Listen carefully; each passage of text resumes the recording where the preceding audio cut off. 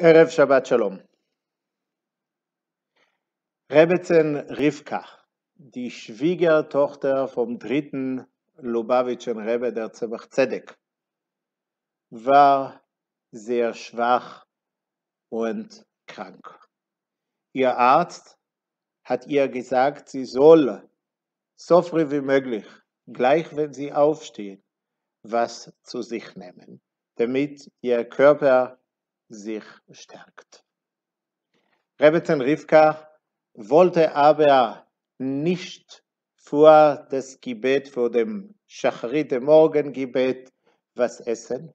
Und deshalb hat sie angefangen, früher aufzustehen, damit sie früher das Gebet spricht und danach zu rechtzeitig auch was essen kann.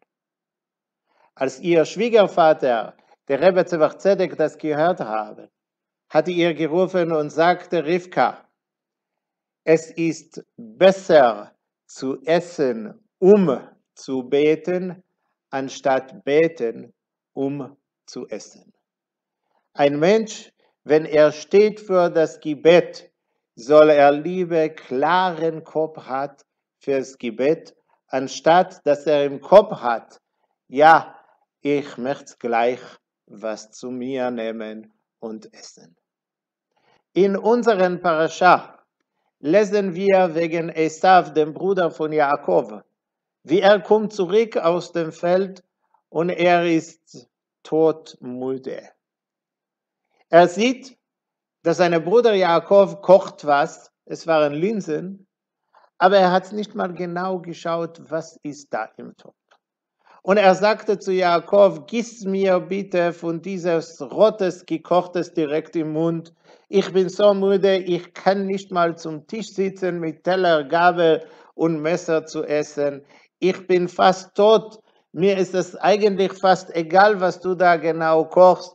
Gieß mir bitte direkt im Mund, damit ich was zu mir nehme.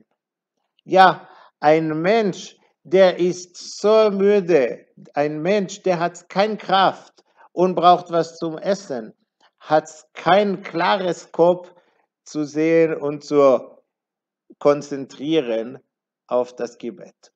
Und deshalb, wenn wir stehen jeden Tag zum Gebet, sollen wir uns die Zeit nehmen, sollen wir alle unsere Beschäftigungen entweder vorher erledigen oder komplett von unserem Kopf wegräumen. Und dann können wir vor Gott stehen, beten und für uns, für unsere Familien das Beste wünschen. Shabbat Shalom.